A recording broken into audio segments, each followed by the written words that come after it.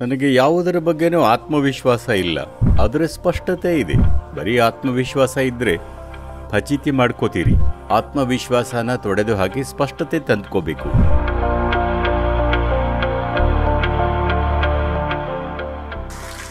ತದ್ಗುರು ನಿಮಗೆ ಅಪಾರ ಗೌರವಾಧಾರಗಳನ್ನ ನೀಡ್ತಾರೆ. ನಿಮಗೆ ಯಾವಾಗಾದರೂ ಸುಪೀರಿಯಾರಿಟಿ ಕಾಂಪ್ಲೆಕ್ಸ್ ಉಂಟಾಗತ್ತಾ? ರೈಟ್ ನಾವು yes. ಈ ಕ್ಷಣ ಹೌದು.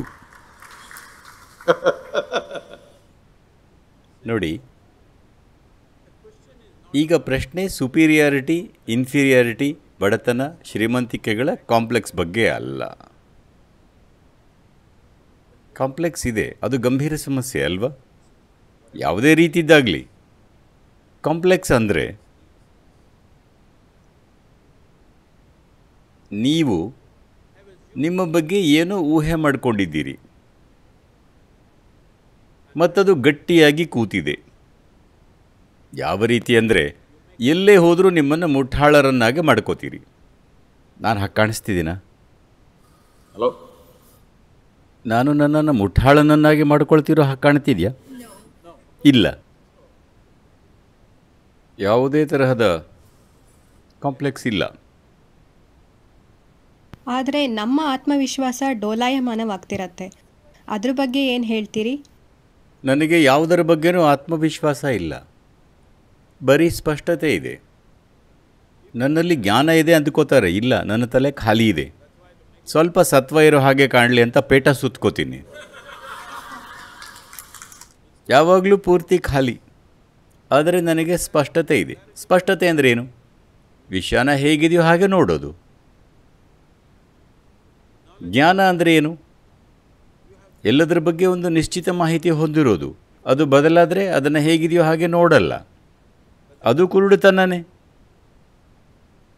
ಗೂಬೆಗಳಿಗೆ ಕಣ್ಣು ಕಾಣಲ್ಲ ಅಂದುಕೊಂಡಿದ್ದಾರೆ. ನಿಜ ಅಲ್ಲ. ಅವುಗಳ ಕಣ್ಣುಗಳು ನಿಮ್ಮದಕ್ಕಿಂತ ಅತ್ಯಂತ ಸೂಕ್ಷ್ಮವಾಗಿವೆ. ಆದರೆ ಬೆಳಕಿನಿಂದಾಗಿ ಕಾಣಿಸಲ್ಲ. ಯಾಕಂದರೆ ಬೆಳಕು ಹೆಚ್ಚಾಗಿದೆ.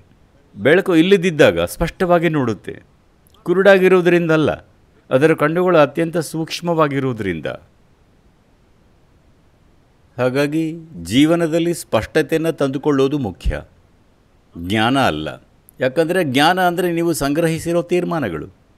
ಜಗತ್ತಿನಲ್ಲಿ ಭೌತಿಕವಾದದ್ದನ್ನು, ಪ್ರಾಪಂಚಿಕವಾದದ್ದನ್ನು ಮಾಡೋಕ್ಕೆ ಜ್ಞಾನ ಬೇಕು. ಆದರೆ ಜೀವನಕ್ಕಲ್ಲ.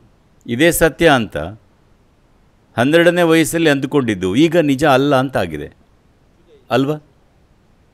ಹೌದಾ ಅಲ್ವಾ? ಇದು ಹೀಗೆ ಅಂತ ಈಗ ಅಂದುಕೊಂಡಿರೋದು. ಮೂರು ವರ್ಷದ ಮೇಲೂ ಇದು ಹೀಗೆ ಅನ್ನೋ ಥರನೇ ಇರತ್ತಾ? ಅಂದರೆ ನೀವು ತಪ್ಪು ಅಂತ ಗೊತ್ತು. ಹೌದಾ ಅಲ್ವಾ? ನೀವು ತಪ್ಪು ಅಂತ ಗೊತ್ತಿರುವಾಗ ತಪ್ಪಾದದ್ದನ್ನು ಪ್ರತಿಪಾದಿಸೋದು ಯಾಕೆ? ಈಗ ನೀವು ತಪ್ಪು ಅಂತಾದಾಗ ಇನ್ನಷ್ಟು ಅರಿವಿನಿಂದ ನಿರ್ವಹಿಸೋಣ. ನೀವು ತಪ್ಪು ಅಂತ ಗೊತ್ತಿದ್ರೆ ಹುಷಾರಾಗಿ ನಡೀತೀರಿ ಅಲ್ವಾ? Hello? ಆದರೆ ನೀವು ಸಂಪೂರ್ಣ ಸರಿ ಅಂದುಕೊಂಡಿದ್ದರೆ ಮೂರ್ಖವಾದದ್ದನ್ನು ಮಾಡ್ತಾ ಎಡವಟ್ಟೆ ಮಾಡ್ಕೋತೀರಿ. ನಿಮಗೆ ಸರಿಯಾಗಿ ಕಾಣ್ತಿಲ್ಲ ಅಂತಾದಾಗ ಹುಷಾರಾಗಿ ನಡೀತಿರೋ ಇಲ್ವೋ? ಒಂದು ಕತ್ತಲ ಕೋಣೆಯಲ್ಲಿ ನಡೆಯೋದಕ್ಕೆ ಹೇಳಿದರೆ ಲೈಟೆಲ್ಲ ಆಫ್ ಮಾಡಿ, ಕಿಟಕಿ ಬಾಗಿಲು ಹಾಕಿ, ಕಗ್ಗತ್ತಲಲ್ಲಿ ನಡೆಯೋಕೆ ಹೇಳಿದರೆ ದಿಢೀರನೆ ಜಾಗೃತೆಯಿಂದ ಪ್ರಜ್ಞಾಪೂರ್ವಕತೆಯಿಂದ ನಡೆಯಲ್ವಾ? ಲೈಟ್ ಆನ್ ಇದ್ದಾಗ ಪ್ರಜ್ಞೆ ಇಲ್ಲದಂತೆ ಎಲ್ರಿಗೂ ಡಿಕ್ಕಿ ಹೊಡಿತಾ ನಡೀತೀರಿ. ಪ್ರತಿ ಕ್ಷಣನೂ ಬೆಳಕು ಇಲ್ಲದಿದ್ದಾಗ ನಡೆಯೋ ಹಾಗೆ ನಡೆದರೆ, ಎಲ್ಲವನ್ನೂ ಜಾಗ್ರತೆಯಿಂದ ನೋಡ್ತಿದ್ರೆ, ಎಲ್ಲಿ ಸ್ಪಷ್ಟವಾಗಿ ಕಾಣುತ್ತೋ ಅಲ್ಲಿ ಮುಂದೆ ಸಾಕ್ತೀರಿ ಎಲ್ಲಿ ಸ್ಪಷ್ಟವಾಗಿ ಕಾಣಲ್ವೋ ಅಲ್ಲಿ ಹಿಂಜರಿತೀರಿ, ಕೆಲವೊಮ್ಮೆ ರಿಸ್ಕ್ ತಗೋತೀರಿ. ಆದರೆ ನೀವು ಆತ್ಮವಿಶ್ವಾಸಿಗಳಾಗಿದ್ದರೆ ಜೀವನನ ಫಜೀತಿ ಮಾಡ್ಕೋತೀರಿ. ಎಲ್ಲಿ ಹೋಗ್ತೀರಿ, ಸಿಕ್ಕಿ ಹಾಕಿಕೊಳ್ತೀರಿ ಗೊತ್ತಾಗಲ್ಲ.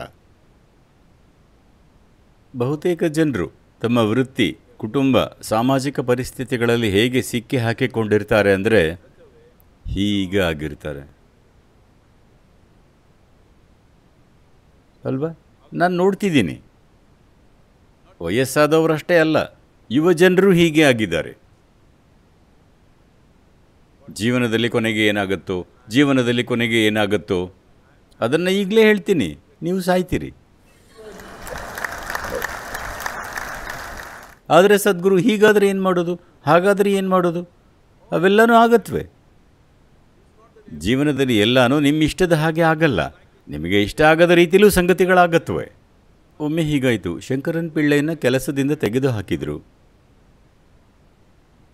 ಯಾಕಂದರೆ ಅವನೊಂದು ಪ್ರಶ್ನೆ ಕೇಳಿದ. ಹೊಗೆನ? ಹೊಗೆ ರಹಿತಾನ ಅಂತ. ಅಷ್ಟು ಸರಳ ಪ್ರಶ್ನೆಗೆ ಯಾಕೆ ತೆಗೆದು ಹಾಕ್ತಾರೆ ಹೊಗೆನ? ಹೊಗೆ ರಹಿತಾನ. ಅಂತ ಕೇಳಿದ. ತೆಗೆದು ಹಾಕಿದರು ಯಾಕಂದರೆ ಅವನು ಸುಡೋದ ಅಥವಾ ಹೂಳೋದ ಅಂತ ಕೇಳಬೇಕಿತ್ತು.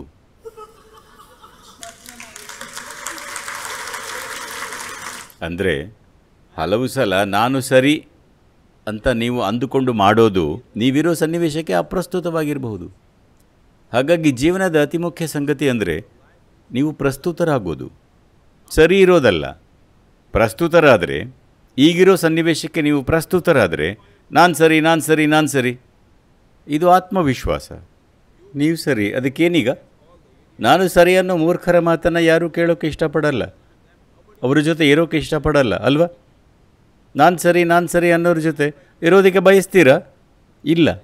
ಮುಖ್ಯವಾದ ವಿಷಯ, ಈಗಿರೋ ಸನ್ನಿವೇಶಕ್ಕೆ ನೀವು ಪ್ರಸ್ತುತರ ಅನ್ನೋದು. ಜೀವನದಲ್ಲಿ ಪ್ರಸ್ತುತತೆಯನ್ನು ತರಬೇಕಂದ್ರೆ ಆತ್ಮವಿಶ್ವಾಸನ ತೊಡೆದು ಹಾಕಿ ಸ್ಪಷ್ಟತೆಯನ್ನು ತರಬೇಕು. ಸ್ಪಷ್ಟತೆಯನ್ನು ಬೆಳೆಸಿಕೊಳ್ಳೋಕೆ ವ್ಯವಸ್ಥೆಗಳಿವೆ. ನಿಮ್ಮ ಸ್ನಾಯುಗಳನ್ನು ಬೆಳೆಸೋಕೆ ವ್ಯವಸ್ಥೆಗಳಿವೆ, ಅಲ್ವಾ? ಅದೇ ರೀತಿ ಸ್ಪಷ್ಟತೆಯನ್ನು ಬೆಳೆಸ್ಕೊಳ್ಳೋಕೆ ವ್ಯವಸ್ಥೆಗಳಿವೆ. ದುರದೃಷ್ಟವಶಾತ್ ನಮ್ಮ ಶಿಕ್ಷಣ ವ್ಯವಸ್ಥೆ ಅನೇಕ ರೀತಿಯಲ್ಲಿ ಸ್ಪಷ್ಟತೆಯನ್ನು ಕುಗ್ಗಿಸ್ತಿದೆ. ಒಂದು ಯೂನಿವರ್ಸಿಟಿಯ ಸಂಶೋಧನೆ ಹೇಳ್ತಿದೆ, ಒಂದು ಮಗು ಎಲ್ ಕೆ ಜಿಯಿಂದ ಸಾಗಿ ಇಪ್ಪತ್ತು ವರ್ಷಗಳ ಶಿಕ್ಷಣ ಪಡೆದರೆ, ಕ್ಷಮಿಸಿ ಇದನ್ನು ಶಿಕ್ಷಣ ಸಂಸ್ಥೆಯಲ್ಲಿ ಹೇಳ್ತಿದ್ದೀನಿ ಇಪ್ಪತ್ತು ವರ್ಷಗಳ ನಂತರ ಒಂದು ಪಿ ಎಚ್ ಡಿ ತಗೊಂಡು ಹೊರಬಂದರೆ ಅವರ ಬುದ್ಧಿಶಕ್ತಿಯ ಎಪ್ಪತ್ತು ಪರ್ಸೆಂಟ್ ನಾಶವಾಗಿರುತ್ತೆ ಅಂತಿದ್ದಾರೆ. ಅಂದರೆ ಪದವೀಧರ ಮೂರ್ಖರಾಗ್ತೀರಿ. ಅದನ್ನು ಏನು ಮಾಡೋದು? ನೀವು ಮಾಹಿತಿಗಳ ಬಗ್ಗೆ ಮಾತಾಡಿ ಜನರನ್ನು ಮೆಚ್ಚಿಸಬಹುದು. ಆದರೆ ಜನರನ್ನು ಮೆಚ್ಚಿಸೋ ಈ ಕೆಲಸ, ಆ ಮಾಹಿತಿ ಬಗ್ಗೆ ಹೇಳೋದು, ಈ ಮಾಹಿತಿ ಬಗ್ಗೆ ಹೇಳೋದು, ಇವೆಲ್ಲ ಹೊರಟು ಹೋಗುತ್ತೆ. ಯಾಕಂದರೆ ಈ ಮುಟ್ಟಾಡ್ರಿಗಿಂತ ಗೂಗಲ್ ಲೇಡಿ ಉತ್ತಮ. ಹಲೋ. ಇದು ನಿಜಕ್ಕೂ ಅದ್ಭುತ. ನಾನು ಎಲ್ಲಿಗೆ ಪ್ರಯಾಣಿಸ್ತಿದ್ರು? ಯುನೈಟೆಡ್ ಸ್ಟೇಟ್ಸ್ ಅಥವಾ ಆಫ್ರಿಕಾಗೆ ಅಥವಾ ಇನ್ನೆಲ್ಲೋ ಹೋಗ್ತಿದ್ರೆ? ನಾನು ಅದನ್ನು ಕೇಳ್ತೀನಿ. ಎಂಟೆಬ್ಬೆಗೆ ಹೋಗ್ತಿದ್ದೀನಿ. ಅಲ್ಲಿ ತಾಪಮಾನ ಎಷ್ಟಿರತ್ತೆ ಅಂತ. ಒಂದು ಚೂರು ತಡ ಮಾಡದೆ ಎರಡೇ ಸೆಕೆಂಡಿಗೆ ಹೇಳುತ್ತೆ ಹದಿನಾಲ್ಕು ಡಿಗ್ರಿ ಸೆಂಟಿಗ್ರೇಡ್ ಮಧ್ಯಾಹ್ನ ಹದಿನೆಂಟು ಡಿಗ್ರಿ ಸೆಂಟಿಗ್ರೇಡ್ ಸಂಜೆ ಹನ್ನೆರಡು ಡಿಗ್ರಿ ಸೆಂಟಿಗ್ರೇಡ್ ಅಂತ. ಯಾರಿಗೆ ಸಾಧ್ಯ ಇದು? ಹಲೋ? ಪೂರ್ತಿ ಸರಿ ಹೇಳತ್ತೆ ಅಂತಲ್ಲ ಬಹುತೇಕ ಸರಿ ಇರುತ್ತೆ. ಅಂದರೆ ಜನರು ತಮ್ಮ ತಲೆಯಲ್ಲಿ ರಾಶಿಗಟ್ಟಲೆ ಮಾಹಿತಿ ಇಟ್ಕೊಂಡು ಮೇಲರಿಮೆಯಲ್ಲಿದ್ದರೆ ಇದನ್ನು ಅರ್ಥ ಮಾಡ್ಕೊಳ್ಳಿ. ಈ ದೇಶದಲ್ಲಿ ಮತ್ತು ಜಗತ್ತಿನೆಲ್ಲೆಡೆ. ಹಿಂದಿನದ್ದಲ್ಲ, ಅದಕ್ಕೂ ಹಿಂದಿನ ಪೀಳಿಗೆಯಲ್ಲಿ ಯಾರೋ ಪುಸ್ತಕ ಓದಬಲ್ಲರು ಅಂದರೆ, ಅವರನ್ನು ದೇವರ ಥರ ನೋಡ್ತಿದ್ರು. ಯಾಕಂದರೆ ಉಳಿದವರೆಲ್ಲ ಅನಕ್ಷರಸ್ಥರು. ಜನರು ಗೀತೆ, ಬೈಬಲ್ ಅಥವಾ ಇನ್ನೇನನ್ನು ಓದಿದ್ರಿಂದ ಅರಳುತ್ತಿದ್ದರು ಓದಬಹುದಾಗಿದ್ದರಿಂದ ಅವರು ಬೆಳೆದರು. ಆದರೆ ಒಮ್ಮೆ ಎಲ್ಲರೂ ಓದೋ ಹಾಗಾದ ಮೇಲೆ ನಾವು ಅವರನ್ನು ಪೂರ್ತಿಯಾಗಿ ನಿರ್ಲಕ್ಷಿಸ್ತಿದ್ದೀವಿ. ಹೌದಾ ಅಲ್ವಾ? ಹಲೋ? ಅಂದರೆ ಮಾಹಿತಿಗಳನ್ನು ಇಟ್ಕೊಂಡು ತಾವು ಮೇಲು ಅಂತ ಅಂದುಕೊಂಡ ಎಲ್ಲರೂ ಮುಂದಿನ ಹದಿನೈದು ಇಪ್ಪತ್ತು ವರ್ಷಗಳಲ್ಲಿ ನಗಣ್ಯರಾಗ್ತಾರೆ. ಆರ್ಟಿಫಿಷಿಯಲ್ ಇಂಟೆಲಿಜೆನ್ಸ್ ಎಲ್ಲ ಕಡೆ ಬಂದರೆ ಮಾಹಿತಿಗೆ ಏನೂ ಬೆಲೆ ಇರಲ್ಲ.